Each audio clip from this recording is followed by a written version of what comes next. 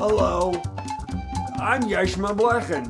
What, which, do, do you ever ask yourself the important questions? Like, why are dogs so sexy? Why do I have excruciating chest pain radiating down my left arm? And why does that game show host keep telling people he's the president? Well, luckily for you, the answer is yes. I am the host of my very own morning show. That's got nothing to do with the show. And now, to tell you more about the show, please welcome my old friend Kolak Kolak.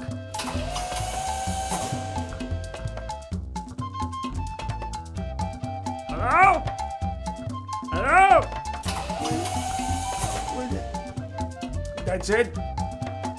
The morning show was shot on the JoCo cruise in front of a live audience. Well, except for that one guy who we didn't realize was dead till the fourth show. He started to smell. We just thought he was drunk, like all the other idiots on the ship. Then he had a thing on the face, and it wasn't getting better. And we're like, I think this guy's dead.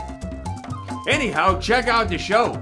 I had special guests like comedian Pauly Shore, the Kardashians. I had a beautiful set design and even live musical performances. Happy birthday to you and many more. It's not the version that I'm familiar with. So now, let's roll the goddamn clips, goddammit. So I understand that you've been on Conan O'Brien, Uh, yes. and you've also been on his show. Right. Ah, boom! Boom! If you could use only one word to describe yourself, would that be because you had a stroke?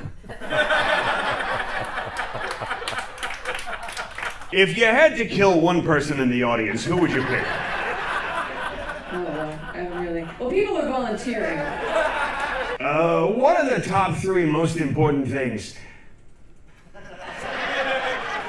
Are these really the questions that you wrote out in advance? I got notes! No, I know. Speaking of old and bent, what's your safe word?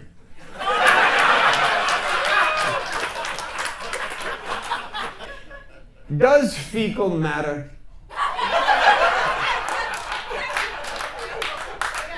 I think it does, yeah. That's the morning show with Yeshmin Blechin. Click the links and see it on the Yeshmin channel. Or if you prefer, don't. That's all. Go ahead.